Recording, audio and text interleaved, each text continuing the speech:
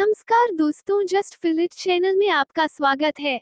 South industry और बॉलीवुड से जुड़ी अन्य रोचक बातों के लिए हमारे अपने यूट्यूब चैनल को सब्सक्राइब करना ना भूले। सितंबर 2022 में रिलीज़ होने वाली आठ बॉलीवुड फ़िल्में, जो ऑडियंस को देंगी नॉन स्टॉप एंटरटेनमेंट।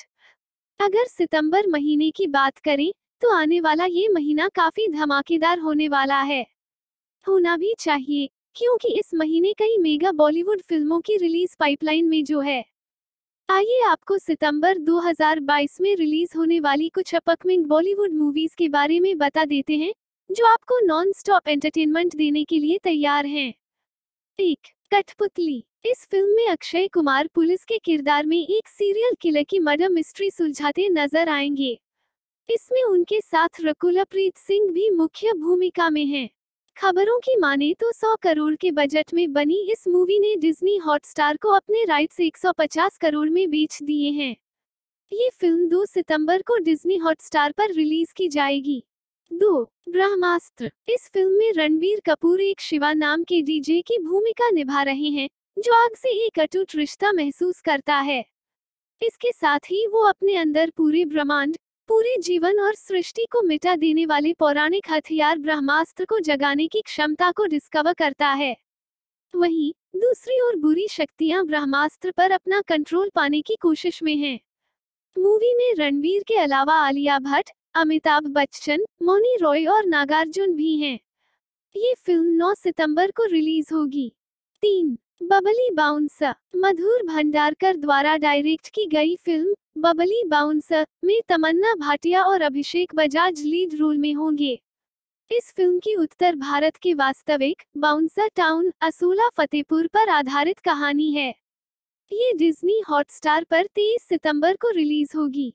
चार, सिया। फ़िल्म, सिया, में एक छोटे शहर की लड़की न्याय के लिए लड़ने का फैसला करती है और दमनकारी पितृसत्तात्मक समाज के खिलाफ तमाम मुश्किलों के बीच एक आंदोलन की शुरुआत करती है।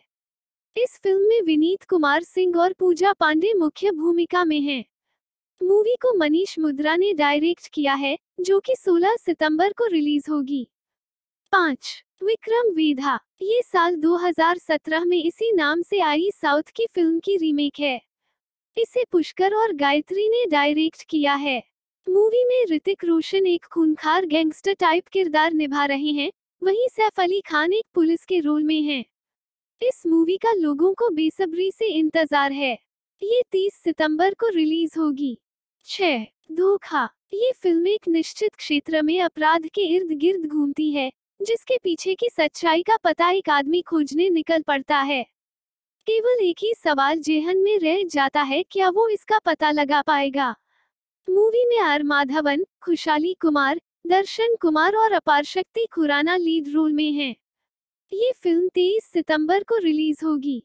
सात, जोगी। दिलजीत दोसांझ स्टारा फ़िल्म, जोगी, दोस्ती पर आधारित है। इसमें उनके अलावा हितेन तेजवानी, मोहम्मद जिहान भी मुख्य भूमिका में हैं। फ़िल्म नेटफ्लिक्स पर 16 सितंबर को रिलीज़ होगी। आठ, खुदा हाफिज चैप्टर दो। ये मूवी 2020 में आई मूवी, खुदा हाफिज का सीक्वल है। इस एक्शन पैक्ट मूवी में विद्युत जामवाल और शिवालिका ओबरॉय लीड रोल में दिखाई देंगे। ये मूवी एक पेरेंट्स के इर्द गिर्द घूमती है, जो अपने खोए हुए बच्चे को ढूँढने के लिए कुछ भी करने को तैयार हैं। फ़िल्म 2 सितंबर को Z5 पर रिलीज़ होगी। उम्मीद है कि आपको यह जानकारी अच्छी लगी होगी। साथ ही, साउथ इंडस्ट्री और बॉलीवुड से जुड़ी अन्य रोचक बातों के लिए हमारे अपने यूट्यूब चैनल को सब्सक्राइब करना ना भूले। Música